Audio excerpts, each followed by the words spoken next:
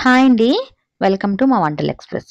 So, ఈరోజు నేను మీకు చూపించిపోయేది ఏంటంటే, ఉసిరికాయతో మనం చేసుకునే పప్పు అనమాట చాలా బాగుంటుందండి టేస్ట్ అయితే చాలా బాగుంటుంది న్యాచురల్గా వచ్చే పులుపు ఫ్లేవర్ అనమాట. చాలా బాగుంటుంది మన చింతపండుతో చేసుకునే పులుపు కన్నా, ఈ ఉసిరికాయ పులుపు అనేది ఆ ఫ్లేవర్ చాలా వేరేగా ఉంటుంది.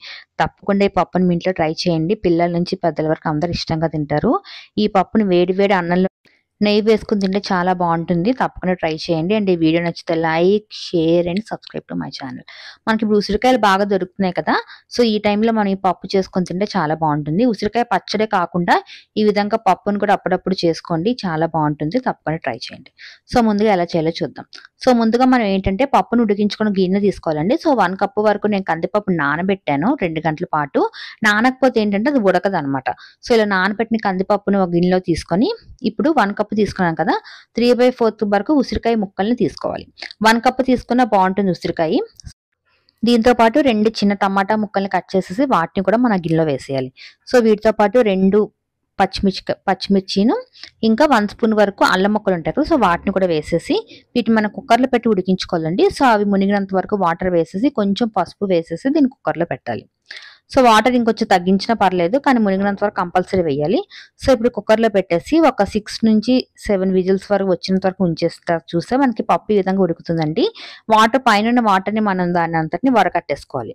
వడకట్టి ఆ వాటర్‌ని పక్కన పెట్టుకోవాలి. పప్పు వేడిగా ఉన్నప్పుడే నిరుపుకోవాలండి. బాగా, బాగా మెత్తగా చేసేటట్టు బాగా నిరుపుకోవాలి.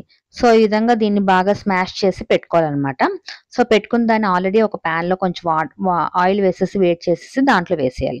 సో, ఇప్పుడు మన వాటర్‌ని మనం వరకట్ని వాటర్ ఉంది కదా! దాని వన్ కప్ వరకు వాటర్‌ని యాడ్ చేయాలండి. సో, వాటర్ యాడ్ చేసిన తర్వాత పప్పు ఉడుకుతున్నప్పుడు, దానికి సరిపడే సాల్ట్ అండ్ రెండు స్పూన్స్ వరకు సాంబార్ పౌడర్ ఉంటుంది కదా మన దగ్గర. బయట కొన్నదైనా పర్లేదు, ఇంట్లో చేసుకున్నదైనా పర్లేదు. సో, టూ స్పూన్స్ వరకు సాంబార్ పౌడర్ వేసేసి, పప్పుని చాలా సేపు వరకు ఉడికించుకోవాలి. ఒక పావుగంట సేపు ఉడికించుకున్న తర్వాత, మనం దానికి పోపు పెట్టుకోవాలండి.